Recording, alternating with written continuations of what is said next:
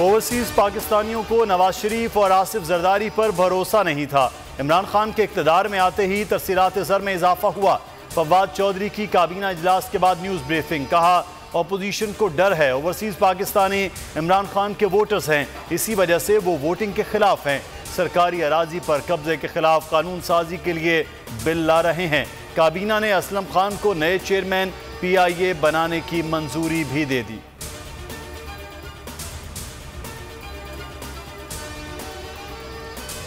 Ramzan sugar mills case Shahbaz Sharif F I A को मुतमिन न कर सके। गैर तसली बख्श जवाब पर शहबाज शरीफ को दोबारा तलब करने का फैसला कर लिया गया। अंदरूनी कहानी सामने आ गई।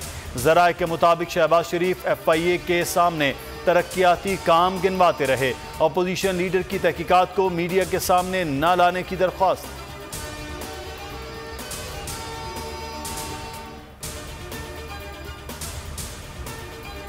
हिजब इख्तलाफ में इख्तलाफात दूर होने लगे। शहबाज शरीफ अपोजिशन जमातों को फिर एक प्लेटफॉर्म पर जमा करने में कामयाब। इंतबी असलाहत से मुतल के पी सी में पी डी एम इतिहाद पीपल्स पार्टी और ए एन पी ने एक साथ बैठने की हामी भर ली। पार्लियामेंट और अवामी सतह पर इंतबी बिल की भरपूर मुखालफत की जाएगी। ऑल पार्टीज़ जुलाई के पहले हफ़्ते में बुलाने का इम्कान।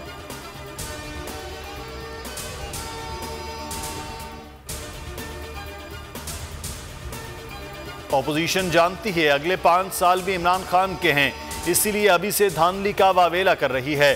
फवाद चौधरी की अपोजिशन पर चढ़ाई, कौमी असम्बली इजलास में कहा, दो सालों में 16 से 1700 अरब रुपए सिंध को दिए गए। ग्रांट्स की मद में अलहदा रकम दी गई। लेकिन सूबाई हुकूमत ने पैसा लंदन, कनाडा, अमेरिका, पेरिस और दुबई भेज दिया। दो खानदान हैं, एक यहाँ से और एक सिंध से पैसा बाहर भेजता है। विफाकी वज़ीर ने अपोजिशन को बिखरा हुआ गिरोह करार दे दिया। किसी भी शहरी की शिकायत पर गफलत बरतने की इजाज़त नहीं देंगे।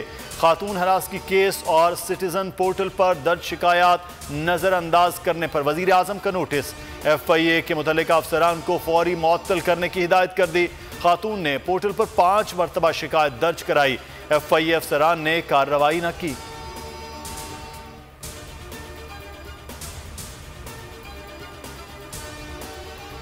वज़ीर आज़म ने फैमिली स्ट्रक्चर पर बात की। लिबरल ब्रिगेड ने शोर मचाया। वज़ीर आज़म ने ज्यादती को लिबास से जोड़ा। पी टी आई की खातन रहनुमाओं ने अपोजिशन को आड़े हाथों ले लिया। बोली तलाल चौधरी जावेद लतीफ़ के बयान पर लस्सी पीकर सोए हुए थे। वज़ीर आज़म ने ज्यादती केस के खिलाफ अमली इकदाम किए। खातन और बच्चों का तहफ़ चाहते हैं।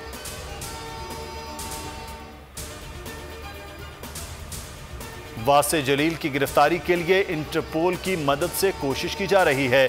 एम क्यू एम लंदन के गिरफ़्तार मुलजमान ने इंकशाफात किए कि भारत से तरबियत हासिल की।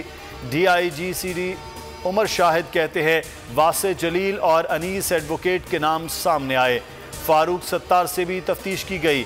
अनीस एडवोकेट अब मुल्क नहीं छोड़ सकते। उनका पासपोर्ट भी ब्लॉक करा दिया।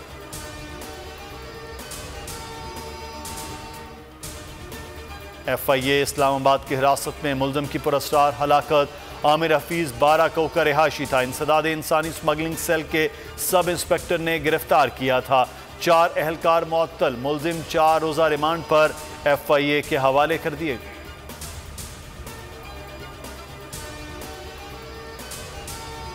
एस्ट्रोजेनेका वैक्सीनेशन की अदम दस्तयाबी, लाहौर और फैसलाबाद में ओवरसीज़ पाकिस्तानियों का एहतजाज। कराची में भी वैक्सीन की किल्लत। इस्लामाबाद के एफ़ नाइन सेंटर में वैक्सीनेशन शुरू। मुल्तान में वैक्सीनेशन सेंटर पर पूरे जनूबी पंजाब से आने वाले शहरियों का रश, पुलिस और शहरियों में तलकलामी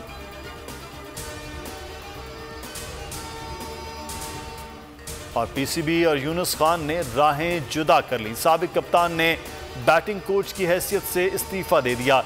Chief executive PCB Wasim Khan का खदमात का एतराफ़, कहा, यूनुस खान जैसी तजर्बाकार शख्सियत को खोना अफसोसनाक है।